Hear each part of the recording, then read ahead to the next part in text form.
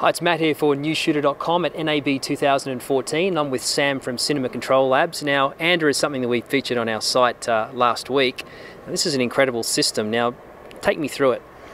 Okay, so basically at the heart of this system we've got a motor controller here which is getting streaming data from a magnetic motion capture system and so basically we're getting very accurate positional data coming from that motion capture system which tells us exactly where the camera is and exactly where the performer is.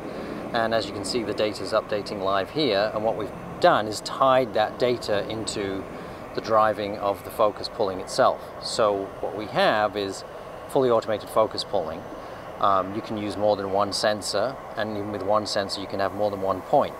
So with a touchscreen interface you can actually cycle through any number of points that you pre-program and it makes the job of focus pulling more creative I think and less technical. And the sensors are little lapel-sized sort of sensors that are, that go onto a belt pack that puts onto you put onto a performer, and then you can calibrate those sensors. You can have three sensors onto one pack, so then you can actually cycle through uh, yeah, di so the different so motion for points. Each perform, for each performer, then you could get three sensor points. So if, if some of the dance footage we had, you know, we had them in the hands, one in each hand and one for the face. Um, the important thing is that the sensor doesn't have to be on the point that's in focus. It only has to be relative. The focus point is relative to the sensor, which a lot of people get confused about. They're like, well, how does that work? Because you don't want to focus on a sensor. And no, of course you don't want to focus on the sensor, but we have a system to very simply create a calibration offset. So um, by doing that, you can very quickly set up a scene. So it hopefully means that you're not doing a technical process and that you're doing a creative process while So in this day and age where you know money is time and time is money, a system like this is going to save a lot of time on set.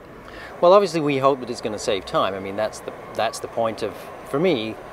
You want to remove as much technological barriers as you can from the filmmaking process because the filmmaking process should be first and foremost creative. So you want to say, I want to make this simple. How do you make it simpler? Of course, it's a bit of an oxymoron, right? You throw technology into the mix and you make it simpler. But you know, I think the ultimate uh, goal is it's a system that you turn it on and it just works. So that's where we're aiming with this. I'm not claiming that we're there yet, but maybe by next year it'll be like you push the button and boom, everything just happens. And for those focus pullers who are out there who uh, may be thinking I might be out of a job soon, they're not going to be because this system can also be used uh, as a traditional follow focus system as well.